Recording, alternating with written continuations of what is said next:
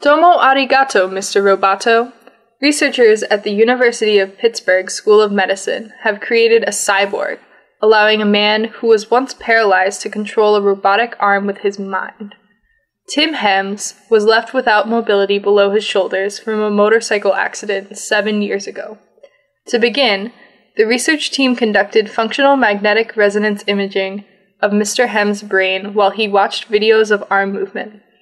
They then used that information to place recording electrodes on the surface of his brain in the areas that the fMRI highlighted to control right arm and hand movement.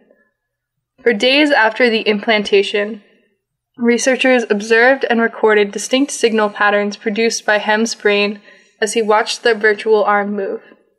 These patterns allow a computer to interpret Hemmes' thoughts and translate them into movement of a robotic arm.